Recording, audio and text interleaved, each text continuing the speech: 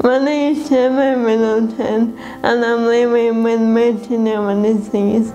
My symptoms started in September 2015. I was 29 years old when I was diagnosed and I used to run a lot of marathons and half marathons and now I'm not able to do any of that. At the moment, MND affects my walking and my talking, as you can probably tell. And now I have to use a mobility aid to get around and walk, um, or sometimes even a wheelchair.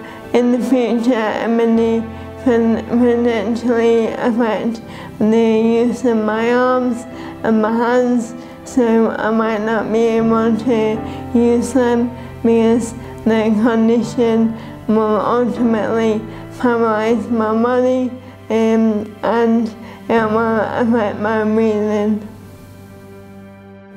Motor neuron disease is a neurodegenerative disease of the motor system. The connection between the brain and the muscles breaks down and the nerves die. The disease is progressive and eventually patients become paralyzed, have problems breathing and eventually after two to three years uh, they succumb to the illness and die.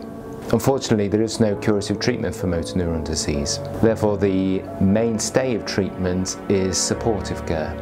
In motor neuron disease, a typical drug trial will cost many millions of pounds and takes 18 months of follow-up in a patient. One of the advantages of using techniques such as MRI PET is that we will not need to wait for 18 months following up individual patients because we'll be able to see much earlier by looking directly at the functional uh, chemistry in the brain and seeing if the drug is working.